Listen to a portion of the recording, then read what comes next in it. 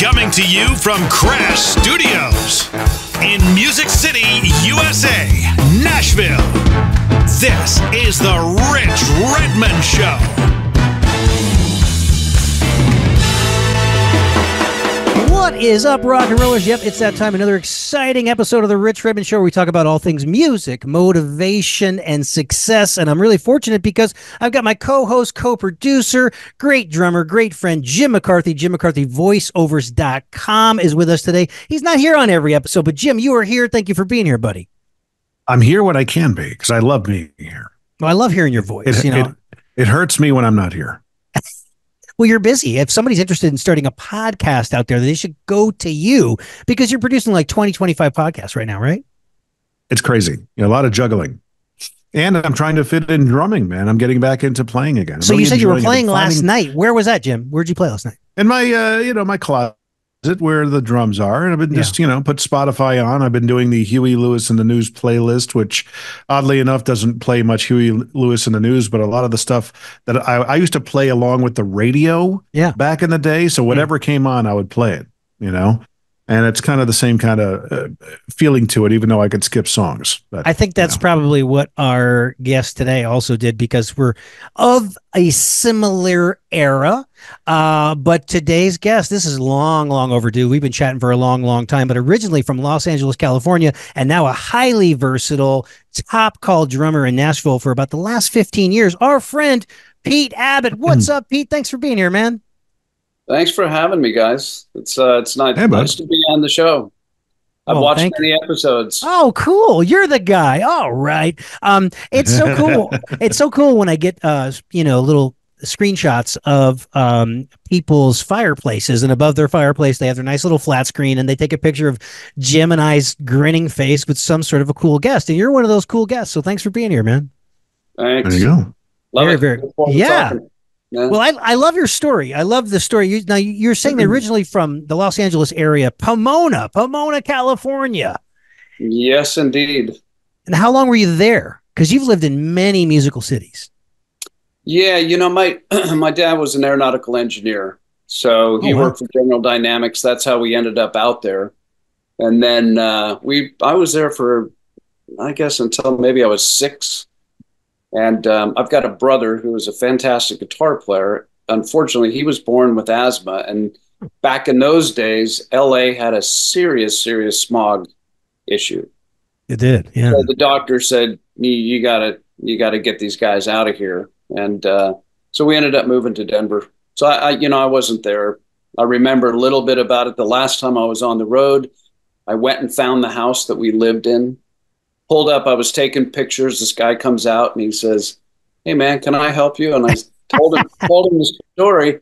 He invites me into the house. I sat there and had a cup of coffee with he and his wife and his daughter, and I, of course, I didn't remember the inside of the house, but you know, it's it's interesting how friendly people are when they know that your intentions are good. Yeah. I was like, why is this person? Does he work for Google? Why is he taking a picture of my house here? Yeah, Um, that's cool. That had to probably bring back some memories. big time. Yeah. Yeah, Now- as much as I could remember that, those were the early early days. Yeah. What? Yeah. Uh, when did you pick up a pair of sticks? Did you have other musical training? Like your mom forced you to, to play the piano, or what? What's the She background? didn't force us. Um, she was classically trained Oh, nice. to a certain degree, and then uh, she taught. So she got my brother and I into piano. So we started with piano, you know, and then your ear gravitates. You can. I was standing on a, a playground in fifth grade. The band was rehearsing, and I'm thinking, how the hell do those guys get notes to hold out on a snare drum? And I couldn't figure it out.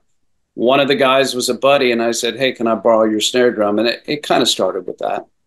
So then you like you figured out, oh, we got to this. It's a press roll. It's a rhythm, and then we buzz the stroke, or is this trial and error? You figured it out.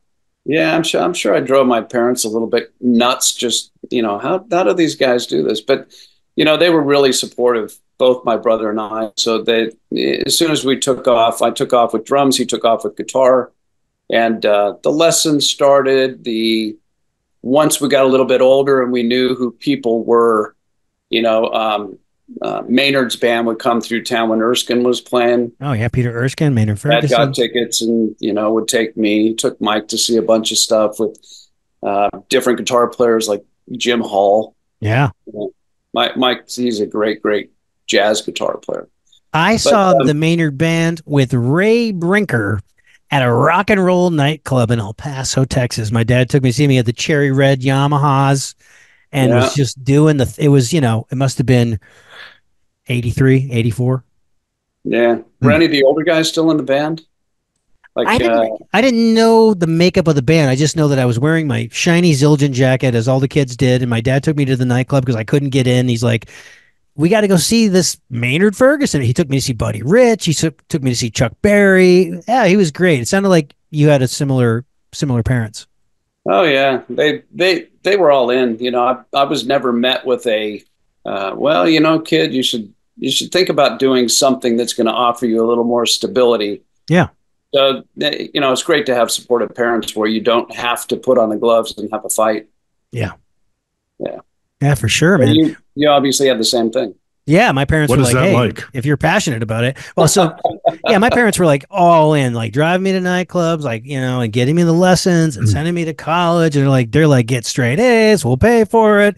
So, Jim, you're saying that your mom and dad were like drums? What? My brother and I, my brother started playing piano at six or seven, and always wanted to go on the road and you know try and live that life. But we were always told well you got to have something to fall back on and i don't care what you want to do you're going to college. Right. and uh, that was more important to them than what we wanted to do so. Yeah. Well you always, you always say having the backup plan is not a good plan. Well i mean it's I, I'm, I'm a big believer and I espouse to my kids these days is understand who you are. You know, when you're, uh, you know, Cami going off to college, Cami's my oldest. Yeah. Uh, next year, she'll likely be going to college. And I tell her, look, um, your 20s are for falling on your face and figuring what out what you truly want to do and who you are. If you want to go pursue music and go to college for music, then fine, major in music. You know, that back in back in when we went to college, it wasn't as practical as I guess it could be now. So it, it was just not talked about. Yeah, I got the old. Or was talked about. It, it was it was frowned upon. So I got the practical mm. music education degree. I got I got two of those. Mm. Now now Pete, you ended up at the University of Miami, right? Did you finish? I did finish. Great. I, I, I was very very close to not finishing.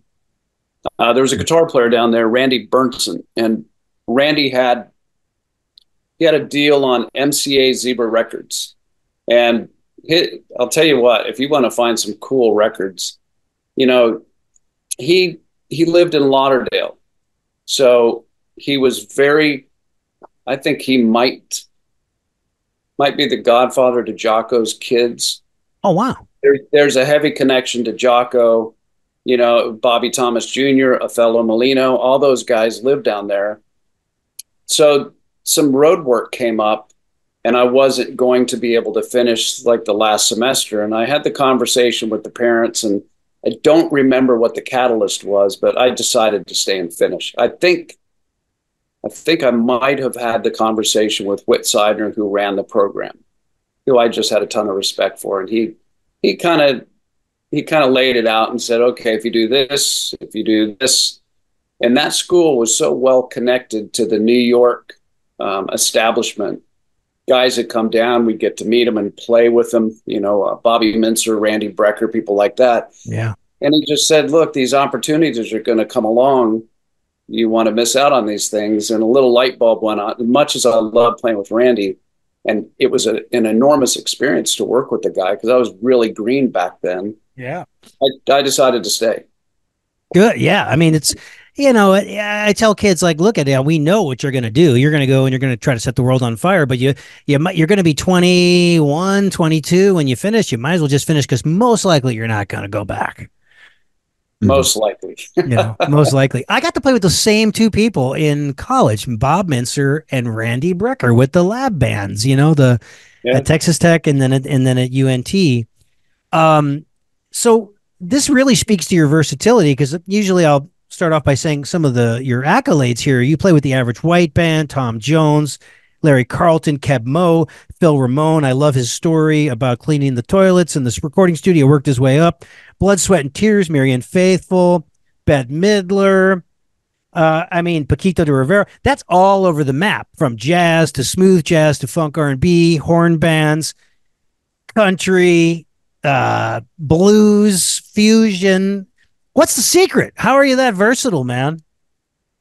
Well, you know, I think it's one opportunity comes along, and it, you know, the education at the University of Miami, you you couldn't be in a better situation if you want to be a player and you want to learn how to play different styles of music. We had, you know, I went down there, I don't know, a year and a half ago, um, just did a little class. And um, I think now there are, I'm probably exaggerating, but 30 small groups. Wow, that's a lot. So for, for each semester, so and so goes to one, so and so goes to the other, and then they mix them up. So the next semester you'll go and you'll play in a different small group. It was the same with us. I mean, we had ECM ensemble, fusion ensemble, rock ensemble. Andy Timmons was there when I was in school, and oh, course, killer. yeah, he just annihilated rock ensemble, and uh, and it back then you listen to music differently, right? And a lot of the guys that you gravitated towards, they could do that. They could switch gears. And I mean, there's a, there are guys that can do it and they can really own it to a certain extent. And then there are guys like you wouldn't take uh, Clyde Stubblefield or Jabo and put them in, you know what I'm saying? You wouldn't put them in a different no uh, idiom. And a big band. They do what they do, and they're yeah. so freaking great at it. It's like, no, I can I can do that one one thing. I mean, one style of music. And uh, but back in those days, I mean, the record collection that I had, it was all over the map. Yeah. You know, and I love drummers like um, I ran in. I've only met Steve Gadd once, but I asked him about a record because I said, I don't know how you made this record. And then we started talking about the different records that he had played on. And I started thinking about it and I went, man, talk about a guy that could really switch gears and he could make everything work. And he knew how to make a record. What which record was it? Chick Corea, the Mad Hatter. Oh wow, yeah. And it was so it was so based around a little um, a, a song, a little vignette that Chick had written, but then the rest of it, it was totally off the cuff. And you know what it's like being in the studio you know, one thing if you go in and record a pop song with a click track, but to be off the cuff and come up with that and have that kind of musicality and that type of groove and feel, it just it knocked my socks off. I think I wore four copies of that record out. yeah, I mean, like oh. you know, uh, Steve Gadd comes along every twenty years. You know, yeah. Uh, yeah. And then I was in school with like a Keith Carlock, and you're like, that guy comes along every 20 years, you know? So it's, and you recognize it right away. You're like, ah, I used to sub for Keith Carlock in Dallas, Texas with all his horn bands. And I'd be like, these are tough shoes to fill. But what am I going to do? It's apples and oranges. I'm, I can only do what I do. But you're like, this guy is going to change the world. Somebody is going to get a hold of him. And they did, you know, right away. Blues Brothers, um, what, what's the guy that he used to play with at the 55 bar like all the time? Um yeah it just it just it just happened for him right away. Yeah and keith you had mentioned you seen, you seen some of those clips of him at the forum with oh uh, yes soloing on Aja. Oh my right. god. Yeah. The guy's the guy's phenomenal. He really is. He's really something else. you had mentioned rotating through the groups earlier in uh, in college i guess right? Yeah uh, were those like stylistic differences that you kind of had to figure out? Yeah, you know? so they would uh, you'd sit down with whoever was running the group. Stylistically, you'd pick anywhere between say two and five songs, and then we had a Friday forum. So maybe half to three quarters of the way through the semester, you had to perform those songs and come as close to um, being as honest with the style and that went for all of the people that were in the group. So a lot, you so know. what was Go ahead. what was your most challenging style that you had to learn? Nice, Jim. ECM music. ECM. So, so, Jim, ECM is a label, a jazz label, and they did they had a lot of like the drummers would play like flat rides and be like chicka ding chicka ding chicka ding chicka ding frost stick kind of stuff. Uh Pat Metheny would okay. Yeah. Pat Metheny would have been the kind of like the poster child for that style. Yes. Yeah, Pat and you know the uh, uh, Ralph Towner, uh, Keith Jarrett. Um, hmm. There's a great record called "Belonging," and you know that's well maybe we'll get into it, but they're uh, the Norwegian drummer that worked with Jan Garbarek. Uh, his name was Jon Christensen. Yes, I remember him. Yeah. Yeah. Do you ever hear the story about him coming over to sub for DeJohnette? No, Jack DeJohnette. I'd love to hear this. So you spent time in Oslo, right? Did you ever did did he pass or did you get to meet he, this? He did. He passed, but ah. I happily say, and I will tell, I'll divulge it. I rehearsed at a rehearsal studio, and they had three of Jon's cymbals, and this was before he passed away. And they're so you can't find these cymbals anymore.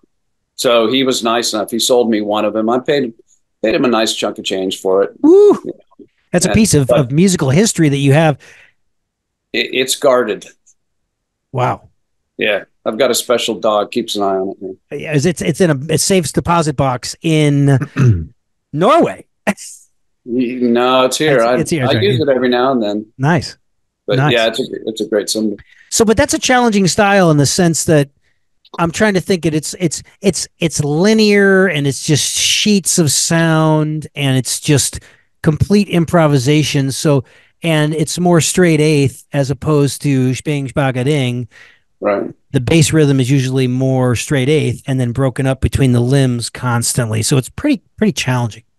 Very long phrases, you know that that I think was the most difficult thing for drummers to understand. It's like you listen to DeJohnette's probably the the prime example. Some of those old records. There was a uh, an Abercrombie record. I think it was called Timeless, and um, you listen top to the bottom of the song, and it it's just one big long phrase you know you're not landing every four eight 16 bars it's it's learning how to disguise one how to how how to articulate the arrangement of the song in a subtle way so that you're not beating people over the head with the one yeah it would not work with uh, say a drummer who played in the parliament funkadelic because it's all about the one yeah yeah we got the funk bang. I mean, it's like, but this Jim, there is no one for like 32 measures. It's just like, yeah, we're talking about stretching yourself, man. Totally. That's like for me, the jazz stylings and the Cuban, the, the, the those types of stylings, salsa, they just bake my brain. My yeah. gosh, you know, claves and things of that nature. I've tried them before, and it's you know probably just got to commit to it of doing it over and over and over again, immersing mm-hmm. yourself into the actual music and the style, and getting around people that play it, you know, for probably months, if not years on end. I mean, yeah. when do you, you know, playing a style like that? When do you feel like? I guess it's all subjective. When do you feel you've got a handle on it? Like for you? Well, Miami was a great school for Latin music for obvious reasons. Yeah. The, the oh, community. Yeah. So much culture. Yeah. When I when I finally got into the Whit's band, which was the top band, uh, the percussionist that was I, I don't think I worked with him, but his name was Hector Neciosup, and he was Alex Acuna's nephew. Oh wow. So you're he Whit was smart enough. He brought in percussionists that really they they grew up with the music.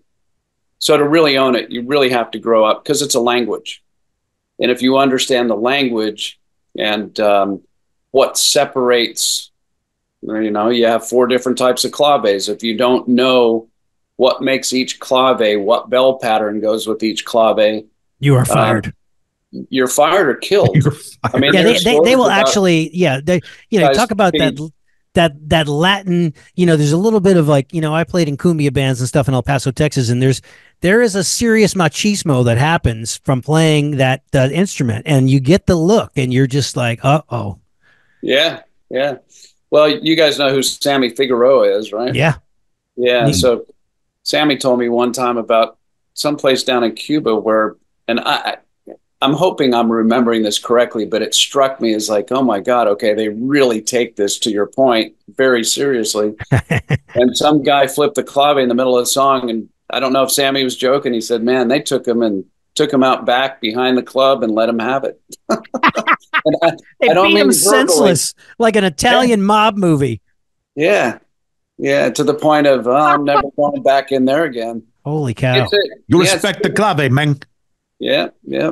You got to yeah. do it. Say hello to my little friend.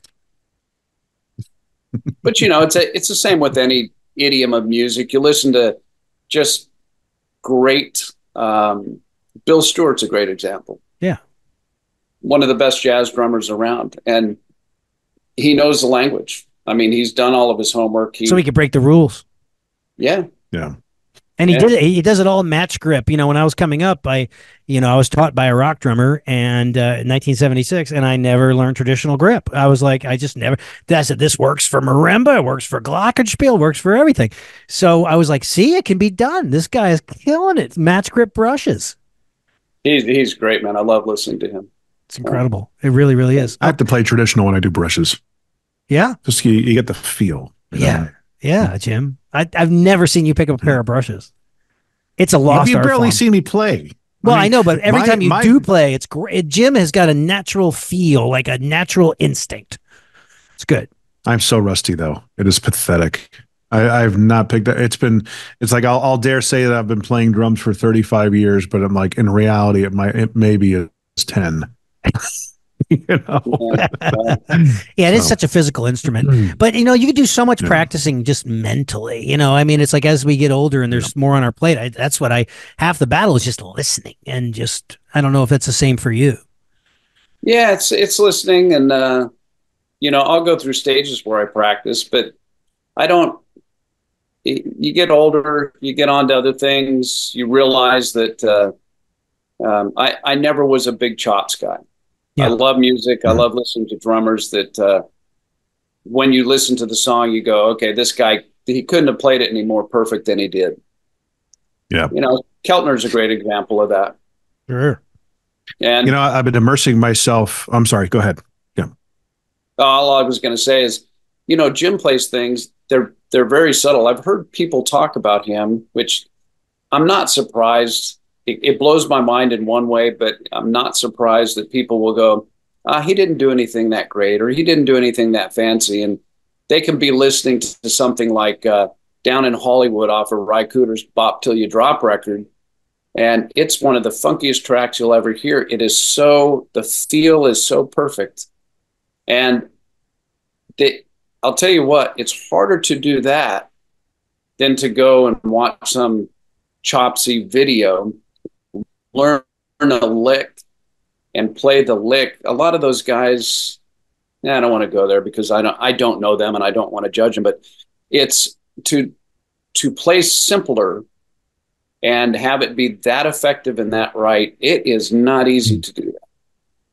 No, and that's what Nashville taught. That's what Nashville taught me. I mean, Jim and Jim and I talk about it all the time. It's like, you know, we're in college and we learn how to play super dense. And because you know, Ed Soph told me he goes, you don't want somebody going like this, saying "Give me more," and you're at the peak of your technique. You want to be able to go there if they want that. But even more uh, challenging is the discipline to have chops and not use them, which is 98% of our job. So the 25 years in Nashville taught me like, hey kid, you know, it's in the back pocket there. You know, you got a you got a good dub, double stroke roll. You could put it in between your spot boom babadooms. But the spot boom babadooms is is the expectation, you know. I guess I guess that language is the same as the Big Bob McAdoo, right? Big mop backadoom or uh yeah. Yeah. Pat boom debbie boom. I love the phrasings that they come. You got the verbalizations. Pat That- it was boom funny. boom, dish. Yeah, So, the Jim, what were you gonna say? Debbie Boone. Yeah. no, it's- I was going to say that you know, with all the varieties, especially you know, want to make your living as a drummer. Uh, you know, and I always bring this up when I saw the the drumming in the modern world videos that Rich did you know, years ago. The styles that Rich could play, like the uh, the the straight ahead jazz, the New Orleans influences, things of that nature. It was amazing to see how natural you kind of gravitated towards it. Is there a requirement that you got to, you know, is that, is it like riding a bike? Can you just pick up and go? Or do you have to, you know, every now and then spend a week or two weeks just, okay, I need to, I need to focus on my Cuban feels, my, my jazz feels, this kind, all the different derivations just to, in case it's called upon to make sure you got those those chops are brushed up. Because I mean, in my case, I've you know I'm I'm starting to get back into it. I'm playing. I've I've immersed myself into Huey Lewis and the News. I've, I just love the music, and Bill Gibson is such an underrated drummer. Um, you know, in, in the song uh, "Stuck with You," there's an eight, uh, an eighth note shuffle. It is a it is a tough beat to keep up, man. You should see Pete right shuffle going like that. Pete's got this yeah. double shuffle. You can look him up on the two, the YouTubes, and he's playing it like around town with like Kenny Vaughn and you know Dave Roe, God rest his soul. And it's you can't you can teach a shuffle, the physicality of what it is, but you can't teach a shuffle. Right. The feel of it. You've right? got to just get yelled at on the bandstand and get the stink guy. and so for a shuffle that good, you had to get the mm-hmm. stink guy a lot. Maybe not. Maybe yeah. it's just it's in your DNA, but you got a wicked shuffle. I, I think you have to. Uh, uh, you know what I used to do when I was younger is if if a, a groove came up, I'd I'd talk to people and I go, and who plays who plays the absolute shit out of this groove? Earl Palmer, for example, right? I mean, there's there's a legendary guy that I mean he brought the straight eighths to rock. That you know? Yeah, you know, it's a uh, um, but you put on a record and you listen to it and and you hear what all of the other things that are going on, and then it starts to make sense why he played the way that he played. And and then you go, okay, I need to learn how to do this.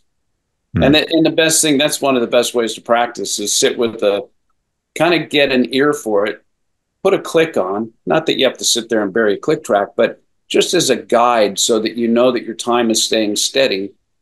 And don't play. I mean, take a kick, snare, hat, maybe a ride cymbal. Don't play any fills and just sit there and play that groove again and again and again. Come back the next day and do it again. Then, when you have a chance to play with a group, it starts to take shape, but it's not something that mm. immediately happens. It it's a developmental process unless you're just a freak of nature. And I don't I don't know too many of those guys. I know a couple. yeah. You there's well with the shuffle, it. it's just a different thing. There's there's less space between that that and there's so many. Is it gang, gang, or is it getting? Is it you know? Is it is it rounded? Does it have sharp edges? what is the band leader like you know uh, all the there's so much room for variation in a shuffle more than i feel like straight eights so that's why it's almost like like brushes it's kind of like a becoming a lost art form because when's the last time you heard a top 40 country rock or pop shuffle there's no more bad leroy browns you know right. what I mean? There's no more Rosannas. It just doesn't exist. Yeah, I mean, mm. there there aren't any more Ray Price shuffles as far as I know, right? Yeah. You know, I haven't heard any lately, but yeah, There's hardly a, any train beats anymore. Yeah. Yeah, mm. it's well, it's gone to the pop world. Yeah. Yeah. Duka so, jacka duka jacka duka. But you know, you can take. I mean, when I started working with Jim Oblon, he's he's a big Jimmy Reed fanatic. Yeah. And so I started hawking Jimmy Reed records, and I was like, okay, why? He's playing a certain way, and sometimes we get we start doing a gig, and he goes, man, can you can you make it a tighter shuffle, or can you make it a looser shuffle? And sometimes there was a reference he did. He made Jim made this wonderful record with uh, Larry Goldings and uh, Keltner. Yikes! Wow, just three of them, and it is. I love the record, and it's great to go and work with a guy like that, where you have a reference of that stature and you go okay i get it. That's that's how this song needs to be played. So it all comes down if you have a reference point and you can hear it that's the first thing. You take in the information and then physically you have to get so you can play it. But same in the jazz world. I mean the difference in say elvin jones to jimmy cobb you know we know the difference in their ride cymbal pattern. So there are so many subtleties in drumming that are um, they take precedence to to any of the other stuff because that's the whole feel to the song. Yeah. Yeah. Yeah, man. My, my, what was your process of like recording yourself? Would you listen back? Because it's tough to play it and understand if you're getting it. It's uh, you know, doing a live performance and seeing the playback of it and going, oh my gosh, is that how I sound? Is that something that you would put into your practice routine? Would you have, because I know, Rich, you played in front of a mirror to watch yourself and see mm-hmm. how you looked and everything. You you took it to the nth degree back in the day where it's happening on a regular basis now with a lot of these, you know, TikTok and Instagram drummers. Um, but back in the day, I never did that as a player. I just played. You know, um, is that something that is necessary, especially if you want to take it to a professional level, to listen to how you're you're performing even by yourself? Was that for me or for Rich? Oh, for you. For you. Yeah, yeah, yeah. You, you take it, Pete. um, well, ch- chime in if you want to. I can't watch myself. I'm one of these guys. It's like there's a reason why I like sitting in the background. You know, Rich, Rich is very extroverted, and it's it's great. You know, I, mm. I, it's a, it's something I'm not comfortable doing. I would be happy if there's no light. I could sit in the background. I would be able to hear all the other people, and it would just be based on my contribution in a in an audio environment. Amazing. And and it's uh you know everybody's personality is different. Yeah. I, I I didn't grow up or was put on earth to be a front man. You know, I think that's a lot of the reason why I chose drums. Now there's some real animated drummers, fantastic. I love it. They're really a lot more fun to watch than I am. But you got to be comfortable in your, you know, you sit behind that kit. If you're not comfortable and you don't have that joy for playing music, no matter what music you're playing, it's not going to go well. I saw this interview with Tal Wilkenfeld, and she she was being asked questions about when she worked with Jeff Beck, and that was, you know, the Crossroads concert with Vinny. And you can see her. I mean, she is she's she's just comfortable. And that bass solo that she plays, you know, you can you can listen to it two, three, four times, and you can sing that bass solo. Ooh, it's it's hair raising. But she she made that point. She's like, if you get up and you play music and you have any amount of fear that you feel like you have to play something perfectly, you're not going to play music. You know, because mm. perfection is not what music is about. It's about communication right. and expression. Yeah, yeah, exactly. It's like the the musician's buddy said it. He said he, he was asked, you know, why why do you hire the guys that you hire? And he said because they're the players that emote the most expression and make the band sound the best. Amazing. And you as a drummer, it's our job to get into the band situation and tell the rest of the guys what the deal is and drive them and say, and make sure they're listening to you and you don't listen to anybody else. Just make sure that you're laying down your own personality. You mean like Buddy Rich? Right. Yeah. No, I was actually referring back to when you and I we had dinner at your house, Rich, and uh, you and I kind of riffed a little bit, and you're like, "You're really good, man, but you just got to listen." I'm like, oh, "Okay, that's a good point." That, what did I say that yeah, from? Because well, you're you're like really mad at me. You're like throwing things across the room, and uh, oh yeah, I gave you a real whiplash treatment. That's my teaching that's style. Right. Is, the, is that whiplash? Did you ever have a whiplash teacher? Pete, I didn't. You know, uh, down at Miami, he had a cowbell that he'd pull out every now and then, and he'd stand in the middle of the rhythm section and he'd he'd chunk out quarter notes if he felt like things were dragging or speeding up. But it's uh, if you're aware that somebody's going to do that, you know, you get your ass in the practice room and make sure that that's not going to happen. Yeah, so yeah you've never had somebody throwing like like furniture across a room. I mean, that's pretty like that's that pretty extreme. I I mean, I I, no. I I mean, I personally had some some uh, teachers with high expectations, and there was a little bit of fear. But that a certain amount of that I think is okay. But no, no furniture. no furniture. No, it's militaristic. Yeah, it's militaristic. Yeah. yeah. But you know, um, so so Pete, you've lived in so many cities: L.A., Denver. You were in Miami. You went up to New York, and you lived. This is crazy. Oslo. When I think of Oslo, I think of the um, I think of the Oslo airport, and there's that gigantic sculpture of all those naked people intertwined with each other. Have you ever have you been back recently? Uh, Slottsparken. yeah, it's uh it's like whoa, okay, this is going to be a crazy city. Um, t- what was that all about? What was your European experience like, and w- how did you end up there? Uh, that happened night towards the end of 1998, and um, it it was sort of a weird combination of events. I started having uh, hearing issues, and I think I'm I'm pretty certain that the that what I was struggling with my with my hearing it was like pretty bad tinnitus, tinnitus, however you want to pronounce it, and then what they called labyrinthitis, and it's an inner ear disturbance, and they can't treat it. Oh man! So what they do is, yeah, they assess your lifestyle.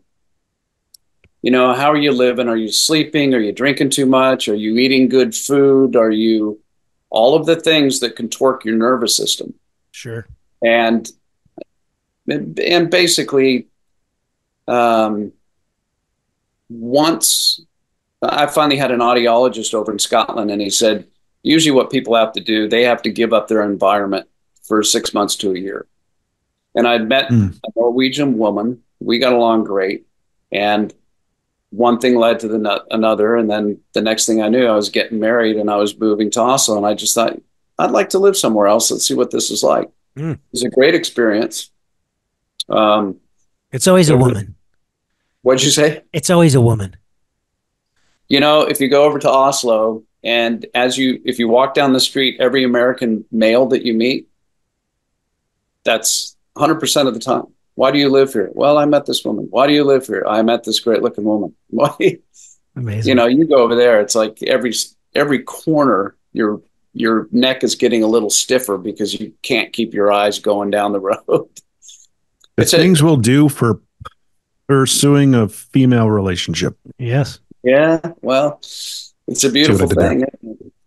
Um, but it, you know, I had a friend that I went to school with, and um, I got in touch with him. And after I don't know, maybe a a year and a half, I started playing again, and I had some gear over there. And then um, the guitar player, his name is George Wadenius, uh, killing musician. Um, he played on all the mid '80s uh, Luther Vandross, um, bunch of the Roberta Flack, he was in the uh, Saturday Night Live band. Oh, um, and that's when Marcus and Buddy were doing it. Buddy Williams. Buddy Williams, yeah. And um, yeah, he's he's just a monstrous musician, great guy, and he became a became a really close friend. And we started the three of us started working in certain in a studio that his name is the other guy is Leif Johansson, and um, and we started working together. Different projects would come in so the marriage didn't last, and that's not surprising because you grew up in so much such different environments, and um, you know, no ill feelings. We were we agreed on yeah, it's it's not going to go much further than this, but um, the work that I ended up getting. Um, there is a drummer everybody should know about that lives over in Sweden and maybe you have heard of him. His name is Per Lindvall. Wow. Okay. And not many drummers I've heard at this level. He he's astounding. And when when there's a record being done over there, he's usually the first call guy. Amazing. And he he grew up in a situation he doesn't like if if you talk to him, and I would spend a ton of time with Per, but there were gigs that he would do, and then the artist would call me and I would sub for him. So I got to listen to all the stuff that he played on the records. And he's one of those guys where you listen to track and you go, couldn't have done anything better. And the pocket is just, you know, Gregg Bissonette, don't you? Oh, yeah. Yeah. I, I, oh, yeah. Greg showed up. On. Yeah. Oh, did you? I think, mm-hmm. uh, I think I met him through Leif and I mentioned Per's name and, and, uh, I think Greg knew about him, but Greg was like, "Oh yeah, I did two months worth of lessons with the guy. He's great." You know, I mean, Greg Greg was my career path model. Like, prepare to play anything, and then be open to playing anything, and see where the universe takes you. Great concept, isn't it? Right? Yeah. Yeah, man. Yeah. So this guy is like the Vinny of Sweden. Yeah, and it's not it's not so much um, uh, you know, his pocket when Michael Ruff used Michael Ruff used to go over and he would hire Per and this bass player, uh, Lars Danielsen from Denmark, and um, those two guys together, it doesn't get any better. Incredible. It's, it's extreme, and um, it's just the way they approach music. And sometimes Pedro will he'll play something and you go, "What the hell was that?" I mean, it, it's great. It's in a good way, and sometimes you can't figure out what he's doing. I mean, he's it, the way I understand it from George is if you ask him, he'll go, I don't know. George put a record together and there's some odd time stuff on there. And I said, How did Per learn this stuff? And he said, I just played it for him and he knew how to play it. So that that thing, like what we were talking about before, you know, you just you you can't do that the same way people like that can do it because it's just intuitive and it's their ear telling them exactly what to play in that moment and they're in a state of flow and they don't get in their own way. Yeah. And um it's great how, man. It, how did you learn the language? how did that did you i'm sure you had to learn the language right? And then later in life our brains are like you know they say you can't learn a language past age five or seven you know?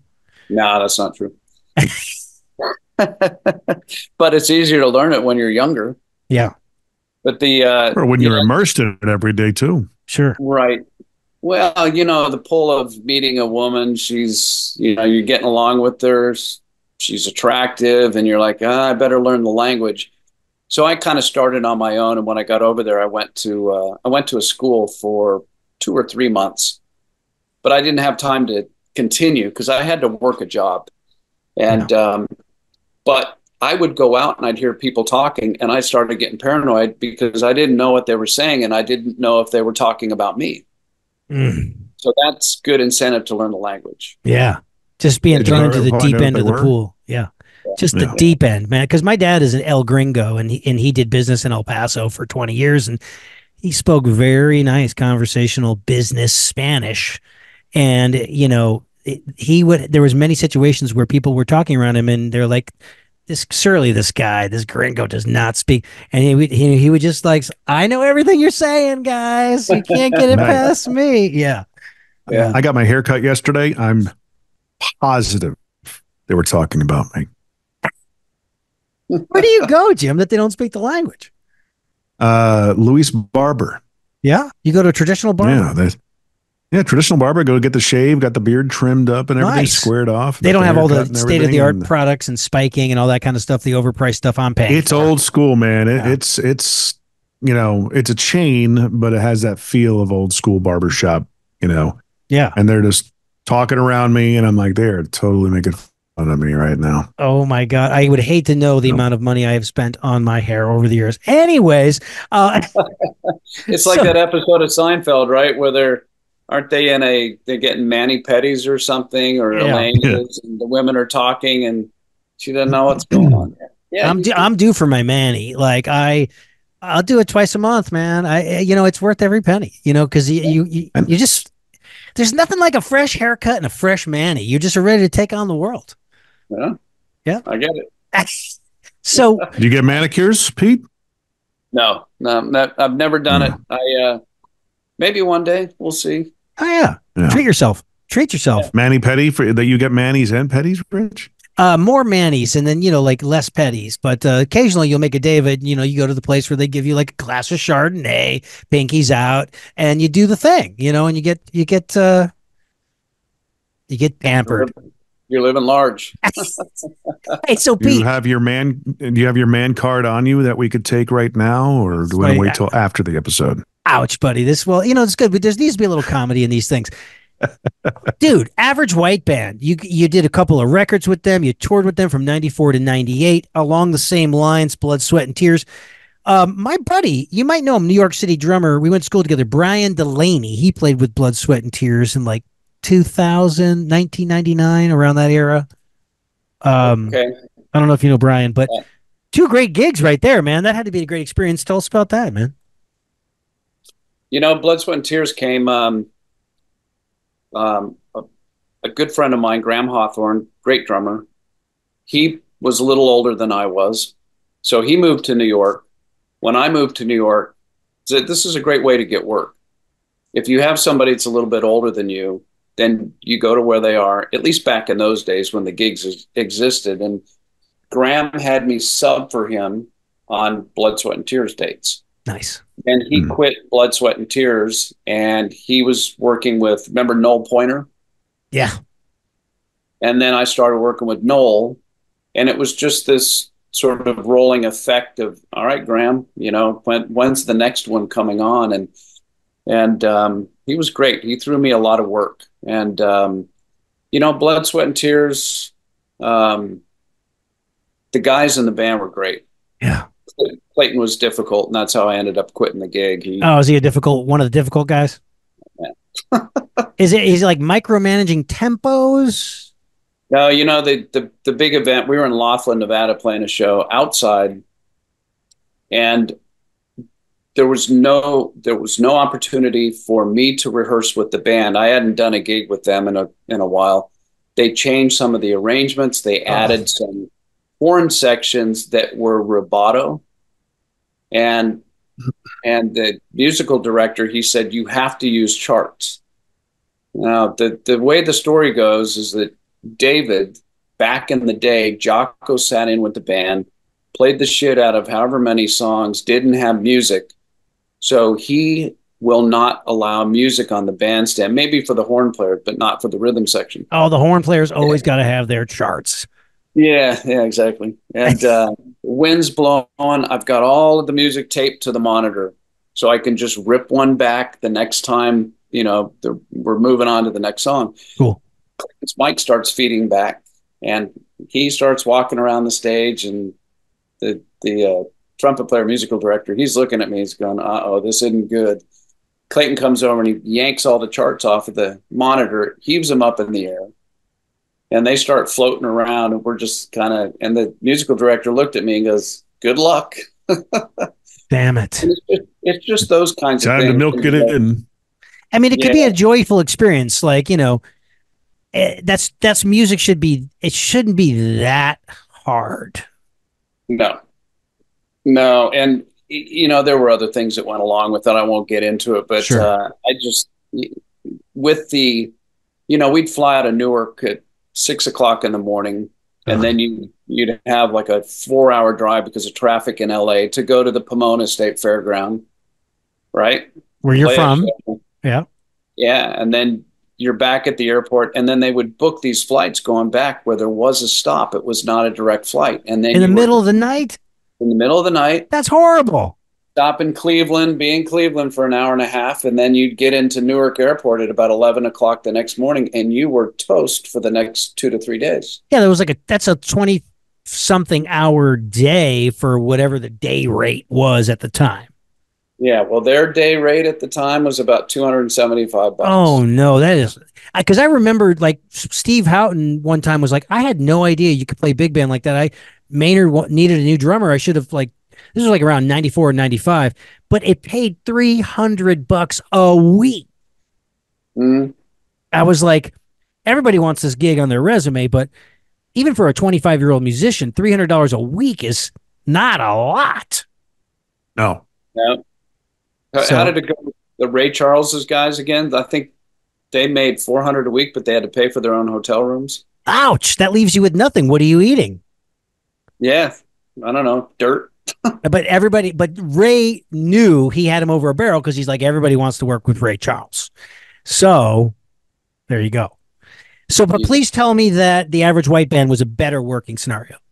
The average white band was uh, probably probably the best musical experience. Love it for me, and it it has to do I love the music. Um, always did, always will. Those songs do not get old.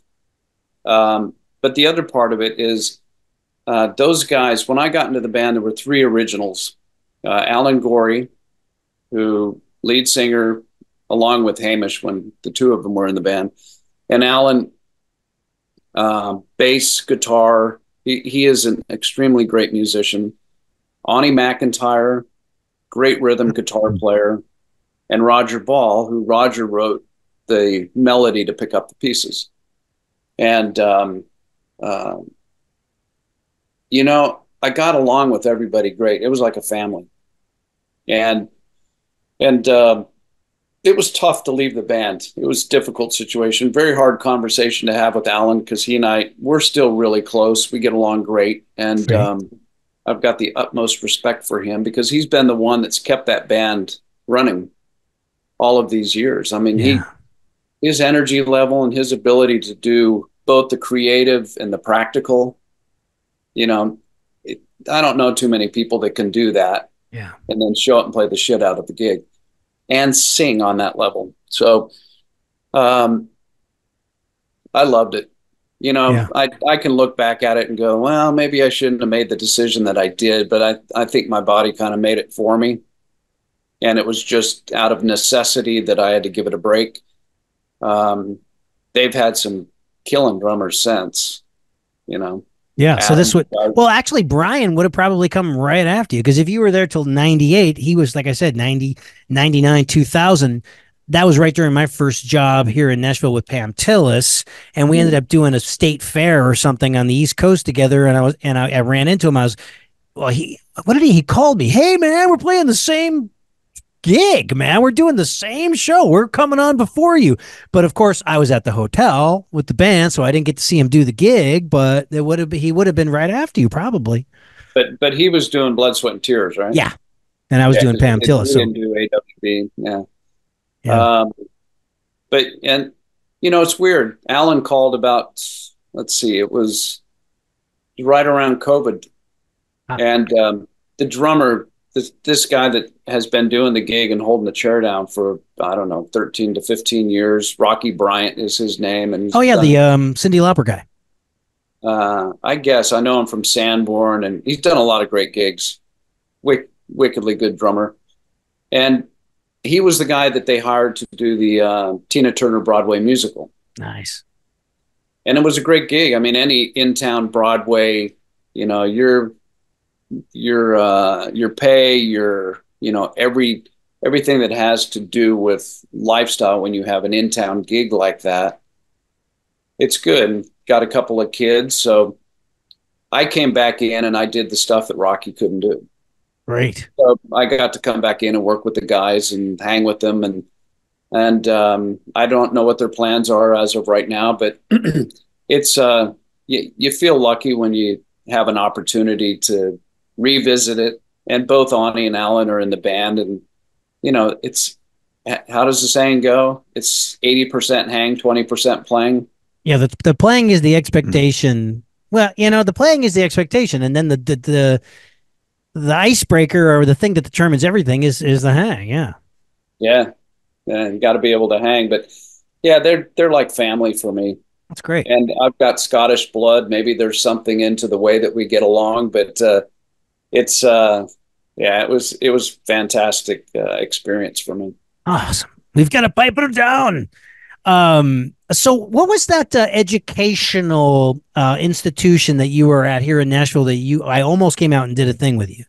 Yeah that was called Segue 61 and that was the brainchild of a uh, i'm pretty sure it was kind of the brainchild of one guy over in north carolina. And it ran for two semesters. The tough thing, wow, we couldn't mark. I mean, two years, so it was two semesters each year. But you can imagine um, parents or whoever's providing the financing for a kid to come to a program like that. It wasn't a program for somebody to come and sit in a room and shed. It was a program. It was a practical program. So we ran it out of a recording studio and a uh, sort of a, a music business type of a of an environment. And and we had all kinds of yeah it's too bad we I, I, don't you were probably on the road is my guess and that was the tough tough thing yeah. to hook and call but you know i had um, those kids got exposed to a lot of people uh, both in a i'd have players come in of the michael rhodes and you know, it's funny. These guys are like, I'm not a teacher. I don't know what to do. And I said, it's not about that. It's about you coming in. There'll be three charts on your stand, just like doing a session, and the students get to run the session. Oh, nice. So they start to learn how do I communicate? How do I know when to shut up and let the musician do what is instinctual to that person? Um, when do I say, hey, that's great. Could you try doing it this way? You know, because kids, I remember when I was that age, I'd, I'd probably be timid as hell, but it, you know, it was great. And I still keep in touch with a lot of the kids that went to the program, but we couldn't market it. Yeah.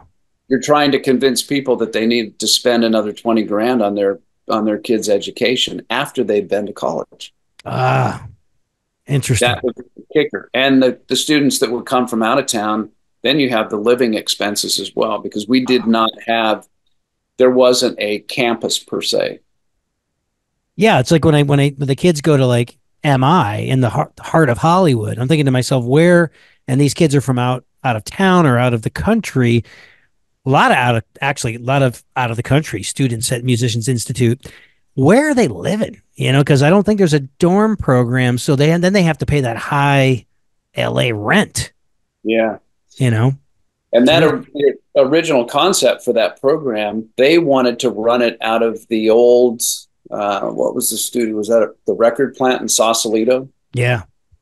And you can imagine what the living expenses would oh have been. Oh my God! Yeah, and that's what that's what shut it down there. Plus the the administration that handled all of the administrative duties. They they're in North Carolina, so it was too far. Well, that's a shame, but and is that important to you? You know, as a music education, the power of music education, or uh, do you want to have your hand in teaching, like at all times in your in your career? Are you teaching now? I'm not teaching now. I've got a couple of guys that'll, you know, they're like, can can I pick your brain, or you know, I don't, and but they're not necessarily. It's not, hey, can we sit with two kids? Yeah. You know, well, we get the picking brain thing a lot. You know what I mean? We yeah. drink a lot of coffee, don't we, Jim? I'll bet you do. You know, yeah. you want to people that move to this environment. I don't. I don't think they they don't have a clue. I mean, they have to have people that they can sure sit that will tell them, hey, here are the do's, here are the don'ts. Don't go up mass somebody that's high up on the register. Don't say, hey, can you throw me a bone? Can you throw me a gig?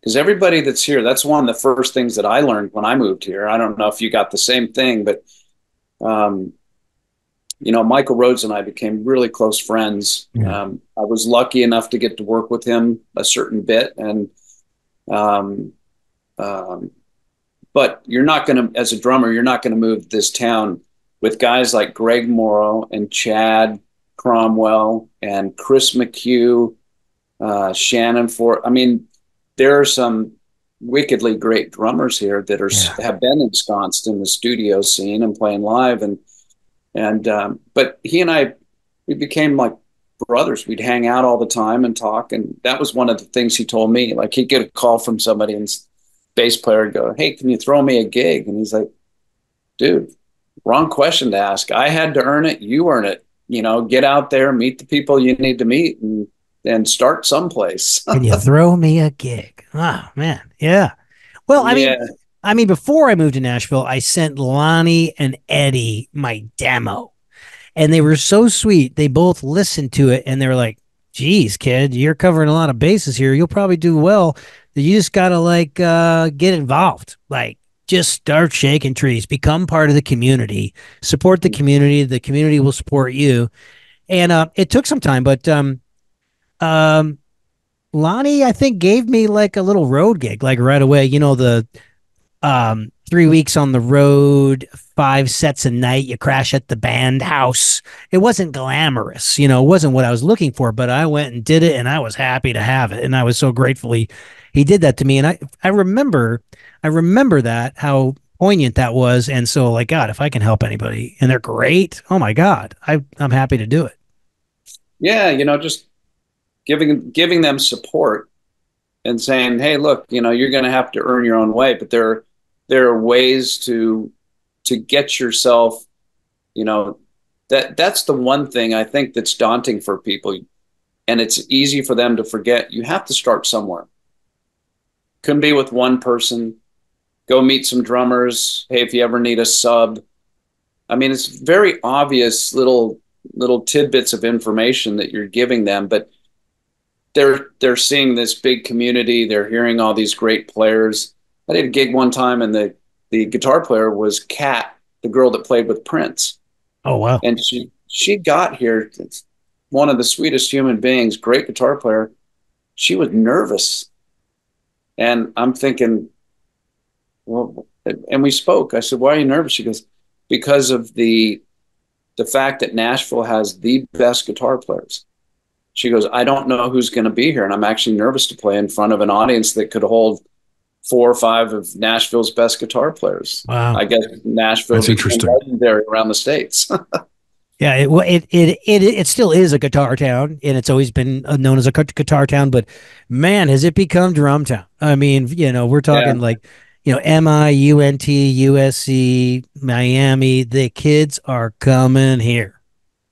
Well, and I mean, what do you think about, or both of you, you know, the level of some of these kids and what they can do just based on what's available to them without them having to pay much money or any money for for getting that information and and being exposed to they sit in a practice room all day and they come out. I've heard some of these kids playing it's like good god you know i couldn't I couldn't touch that when I was their age. Well, they have YouTube University, which is incredible, and they got the great slower downer, and they got Moises, and they've got all these little tools and applications, which is um, I don't want to be like get off my lawn guy, but I mean those are that's a great advantage. And then also, you know, we love to go through the dusty record bins and you know, the green dot means it's two dollars ninety cents. The blue dot means it's $3.90. and. We go and we get our little record collection and we drop the needle. Now you could just go and you want to learn and you want to learn the style of Motown. Boom! You pull up the greatest hits, the hundred greatest Motown songs.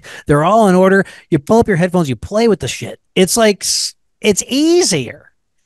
Yeah. And not only that, you do a search on uh, YouTube on how to play the basics and the fundamentals of that style of music. There's you know thousands of guys out there that have done it and uh, put out instructional tutorial videos on that. Um, the only thing that I would say that the kids are missing are probably the human element of playing with a. Yeah. Playing. That, that's exactly right. Yeah. You know, the kids that aren't missing that are usually the ones that are spending a lot of their time in the churches. People, because they're, you know, they're, it's all about. And they do get to play. They right. get to play with people, and they do. I've seen it gone to a couple of places and and uh, just been sort of a fly on the wall. And the older the older cats, they're really good for the kids. You know, they're like, "Hey, man, you're playing too much. Be cool." Yeah. Yeah. Church is church is a great uh, training ground. It really is. I mean, yeah, you know, no matter what kind of church it is. I remember when I moved here in '97, I started calling all the churches because I was playing in all those charismatic, you know, Robert Tilton churches in Dallas with a giant band. And it was like, here's your 200 bucks, kid. You know, I, I could make 200 bucks on a Sunday. And so I started trying to get a church gig here in Nashville. And they're like, honey, we don't pay our musicians here in Nashville for church. And I was like, got it. Yeah, yeah it's not quite the same as the south side of Chicago, is it? Yeah, my God. But I mean, it, at that point, would you suggest to somebody coming to town, even though it doesn't pay, that's an element of networking that you can you know start getting to know other musicians. They get a feel of what it's like to play with you. Sure. You know uh, to your point pete before when you said that people coming to town i want to pick your brain but i also want to ask you for a recommendation for a gig. Um, there's a, there's a little bit of chutzpah that comes along with a, a question of like that I've actually had, and Rich, you know this. I, I tagged you in a, uh, or no, I took a picture of a post on LinkedIn recently. Two different people that spoke up about uh, people getting, uh, they wanted to use her influence and her uh, LinkedIn profile and the amount of influence she has, the amount of people that follow her. She put up a whole, whole post and she's like, I'm not apologizing about it. This is how I feel. Uh, and because of her following, I call them people in the comment sections that call them bootlickers. They're like, great post. I totally agree. I was the one guy, and the whole post, the whole gist of it was all about don't come at me and ask me to share something on my wall if I don't know you or anything. Don't come at me with that kind of a thing. Don't even ask me to pick my brain or, you know, or stuff like that. And I was like, I get what you're saying with somebody having the, the, the CO Jones to ask you without even knowing you to share their stuff, to help you get a leg up with a promotional thing, similar to asking for a gig. But where I draw the line, and even as a voiceover guy myself, if somebody reaches out to me and said, Hey, can I just talk to you for 15 minutes? How do I start doing this thing? You know, all of us are willing to have those conversations because there's the, the only agenda there is to ask, How do I begin? You know, and a lot of these people that were like on LinkedIn, one voiceover person in particular, she says, Don't even ask me to pick my brain. I did all the hard work. How dare you? You know, you want to hack, you want a shortcut. You got, I'm like, dude, come on. When you were coming up, you were asking, you were looking for that kind of information too. Yeah. And, you know, Rich, you came to mind uh, because you do that. You'll still take a coffee, you know, within reason and, and time and allowing. You're still willing to have, sit, you know, have, have coffee with somebody mm-hmm. uh, because what I think a lot of people don't understand, it's, it's the networking. Uh, it's understanding that this person may all of a sudden come to town, become very influential themselves, and they're going to remember those who helped them and those who didn't. Sure. You know, and there's always they're going to be positive um, flows to that. You know what I mean? There's there's a legacy aspect to it. You know, well, who did you help? And you know, yeah, help is an interesting word because you can help people um, just by having a conversation with them. Mm. And I don't think I, I disagree with you in one sense because when everybody has to earn their keep, and I totally agree with that. And for example, when I moved to New York, um, I had some people that I could call, but all they did, they said, "Hey, do you want to come down? I'm playing at this bar. Um, come hang." And they might introduce me to somebody, they might not. Um, and I I think it's a, you know, with social media, I've heard some of the most messed up stories about expectations of people. And, you know, if you look at social media and all of a sudden, um, I don't spend much time on it. I probably should spend a little bit more, but I'm I'm not a huge advocate. And but you'll hear like you'll hear a guitar player, you'll hear a drummer, and then what do you do? You'll either share it or you'll pass it along to somebody who will share it. Now, mm-hmm. those things, they're healthy, but for somebody to come and say, Hey, I put this together, will you put it on whatever you call it, your feed, your wall? right. right. yeah. Terminology. I mean that that's asking a lot. I, I've that's never ballsy. Gotten, that's ballsy. No, I've no, never, no, I've I, never I, gotten I that. I've never gotten no. that. No, no I, I haven't either. And and usually the you know the advice, whether it's right or it's wrong, that I give there are plenty of places to go and hear musicians, whether you know them or not. And to your point, Rich, of what you said before, you know, your the advice you got. Okay, this sounds great. You're you got a lot of stuff going on here. You need to join the community, and that's you need to join a community. Find, go up to somebody that played a gig you like their playing, and say, "Hey, man, I just moved to town. You sound great." pick somebody that's of your own age group yeah and the music that you like to play and then see where it leads you if that doesn't lead you somewhere go to the next club. Hear yeah. somebody else play. Because something's going to happen. You know? Yeah for sure. You just have is. to be yeah just, just you have to be open open to getting out of the house to go see live musicians do their thing and then be willing to humble yourself to extend your hand and say good job. And then you know to me that's like putting on a pair of shoes. That's like nothing. But to uh, some people this is a big thing but it's um yeah.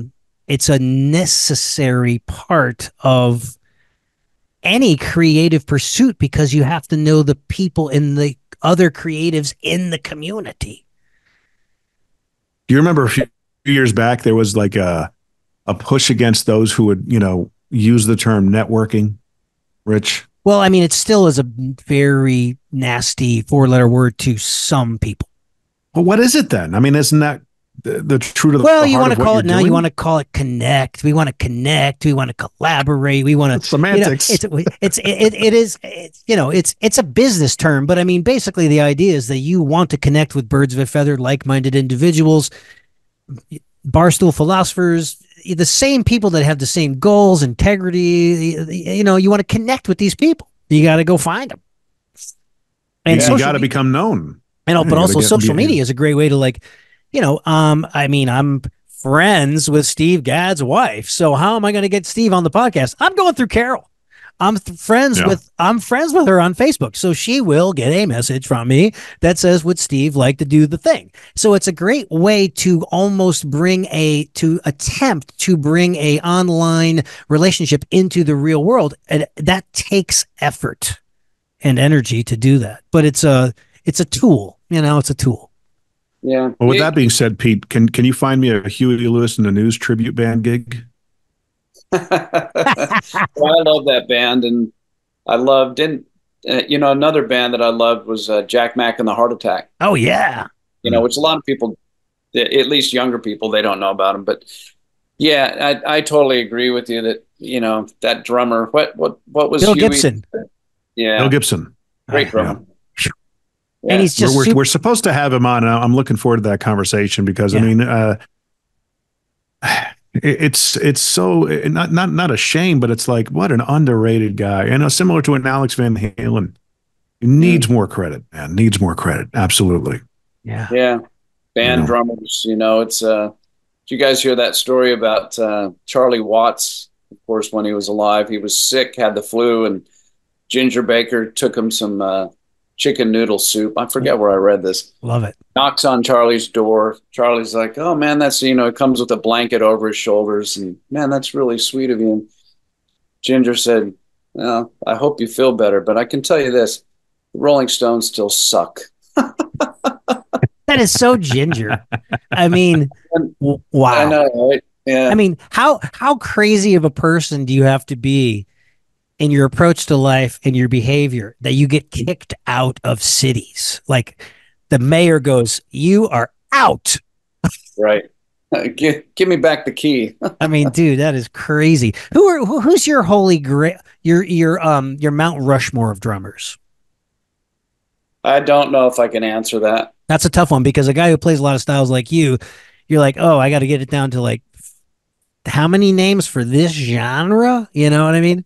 Well, I can tell you this. You know, in yeah. in the R and B world, uh, James Gadson. Okay, there you go. You know, I, I, will. Yeah, I mean, I I love the way that guy plays, and there there's some old, you know, some some bands that people aren't aware of. There's a great great uh, band called Dyke and the Blazers. Are you familiar with them? No. That's Gadson mm-hmm. on that stuff. Wow. Yeah, I'll send I'll send you some stuff. Okay. And um, he is just man for playing that stuff. His pocket. I mean, uh, I got so many records floating through my head. You know, Gadd was. Gadd is up there. Yep. Oh my God! You know, it's uh, no so matter graceful. what plays, and it's great hearing stories about people that get to work with him. Um, he was here in town and I think they were working at Sound Emporium, and I think they were working on Andrea Zonn's record. Oh, nice. That was Gadd and Willie Weeks, and uh, you can't get much better of a rhythm section than that, can you? Holy cow! And um, Gadd, I think they put him. They were in the A room, and they put him in the sidecar booth. He wasn't out in the main room and the acoustics in there can be weird. And if you hit cymbals too hard, they'll just choke. Yeah. So he told everybody, this is the story I heard, whether it's accurate or not, I don't know. But he just said, Can you give me like 20, 30 minutes? And he just sat there and played without headphones and basically figured out where his thresholds were so that the kit would resonate the way, you know, his whole, the tone of his kick drum and the way that he plays. Of course, he's a tap dancer, so he's not burying the beater into the head. I love the tone of the kick drum. It's it's simple things like that in the way he approaches music. There, you know, when I moved here, one of the first drummers that I went and heard was Greg Morrow, and he blew my socks off. Yeah, and such a great guy. Yeah, he is, and and and he is. You know, if you, I mean, he's done such a wide range of gigs. I don't think people understand just what territory the guy can cover. But when I started working with Ashley Monroe, he had played on her um, I call it her sophomore record called Like a Rose. And Um, and I called him up and I was trying to figure out what he was doing. And I said, Do you remember what you were playing on this song? And and he said, No. And I I kind of expected the answer. And I said, you know, can he goes, What song you listening to? I told him. And um, I think it was him and uh, Mike Brignardello.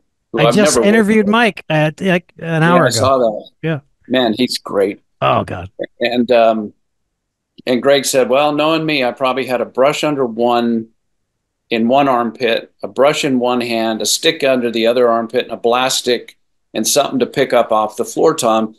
So he kind of painted a picture in my head of what an artist would do. So as your ears are taking in a song, and Ashley writes, she writes great material, she's got a great voice. He's he's reacting to the music. So okay, that needs this touch here and this touch here. That's the first and only time that I've thought of a drummer like that. And then I'd go hear him with Pat McLaughlin, and it's the guy is so solid in his pocket. He doesn't force anything, and it's all based around it's based around the vocalist. Yep. Or in Pat's, you know, Pat's rhythm guitar when he plays, but he's astounding to me. He, he really is a special musician. So yeah, the first time I heard him was on that Dixie Chicks Wide Open Spaces record, and I was like, "This sounds different. This sounds like some. This is not what I'm hearing 90s country like on the radio every day. It's something a little bit different." And lo and behold, I found out it was him. And then, oh my God, years later, became friends, wrote a big feature spread on Modern Drummer for him, and we had screwdrivers together, and and he's he was on the podcast. I mean, great, great, talented cat, man. You know. Yeah, and just a, a great human being. You know, Southern gentleman at his finest. That that he is. he's a so okay. So there's three names. You yeah. got Who, who who else? One more name. One more name. Um Drum roll. No, I'm I'm gonna say Jeff Porcaro. Okay. Yeah. yeah that's that's yeah. beautiful. The legacy he created in the 38 years, his body of work to have left us at 38. I was remembering what I was doing at 38, and it wasn't creating that kind of body of work. Unbelievable. Let me include one more guy, Jim Gordon. Okay. Yeah. And the reason the reason why I say this, we did the soul singer that I work with here in town, uh, Charles Wigg Walker. Uh, we've done a record. It's done. Um, Bill Schnee lives here now, and Bill mixed it. And um, I, you know, I've only probably spent a, a, little bit of time, two or three times with Bill, but he, of course, he's the guy that uh, did Asia. He did Carly Simon's. Um, You're so vain. Uh, Yes, yes. And I asked him about Jim and I said, Did you get to work with him much? And he goes, Not nearly enough. So we had a little bit of conversation about him. There have been a multitude of people, and I don't think I realized just how great Jim Gordon was. And then I saw a little clip of Jeff talking about him. Yeah. And, um, you know, he evidently was one of those guys that had that thing where, man, he had it mapped out. He knew what to play, when to play it, how to play it and didn't deviate. He just just very musical. So yeah, for sure. Record that I have that he played on, I listened to those quite a bit. He's great. Yeah. Well, that that is amazing. And I now we're we're um I mean we're we're young here, but we're uh we're men of a certain age. What is what are you looking to in the future? What is your goal for this year? What are you looking for? What are you excited about? Um, getting my pilot's license. Are you really? Ah. So you, you, like taking private lessons? Is that how it works? Yeah, I've got a, a flight instructor out at uh, uh, John Tune Airport. Wow. And um, yeah, just uh, two mornings ago, I did my first solo flight. And that has to be so scary. It, it it's a rush. Well, you spend time learning the environment, and yes, it's scary, you know, when you don't have somebody sitting next to you in the cockpit. But it's uh, it's something I've wanted to do for a long time, and I'll tell you, it's it's the same rush. Like when I got called to do the average white band gig, I ran around my apartment probably five times, and then went to a pub and had three beers, and and um, it's it's that same element and level of joy now I've got a long a long way to go, but I want to continue with it and and uh, but I love the environment. I lucked out. I've got a great flight instructor, and um, um, there there's a drummer here in town that plays with Jon Pardi, Will Easterwood. Oh, Rich, do you know him? Well, uh, Will you? Well, Jon Pardi's drummer now is uh, Kevin Murphy. You know Kevin Murphquake Murphy. I don't know him. I, I maybe I, I, don't know Will very well. I yeah. reached out to him because I knew that he had a plane and he had his pilot's license. Killer. Wow. And but you know, they're yeah, it's just some people take to it and some people don't. My dad was an aeronautical engineer, so um, I like the environment. It's in your blood. Yeah. You have your part 107? part 107. Is that from? What is that, Jim? That's uh, if you're a drone operator, that's the license you have to have if you want to do commercial drone flying and shooting and uh, video and stuff like that. So uh, the FAA is requiring uh, pretty much all drone operators, even if you're somewhat of a hobbyist, you have to have a Part 107 FAA General Aviation license. Wow. Mm. Okay. Yeah. So I've been uh, studying for that since uh, I'm going on my fourth year of going through the course. Wow. Really, Jim? Flying drones? should it should only uh, yeah to fly a drone you have to be licensed. Well, Jim's a yeah, videographer to, as uh, well, but you know that industry, the drones have really uh, is straight from the War of the Worlds. It really is. It's all happening. Any Philip K. Dick or Robert Heinlein, it's all the science fiction stuff. Isaac Asimov, it is it is all happening. I mean, it really yeah. is. But it did change Hollywood. I mean, you remember you'd have to rent a helicopter or a small airplane to get oh, those yeah. those establishment shots, and now you just get the drone up there, boom, it's done saves all that money. Mm-hmm. It's amazing. It really is.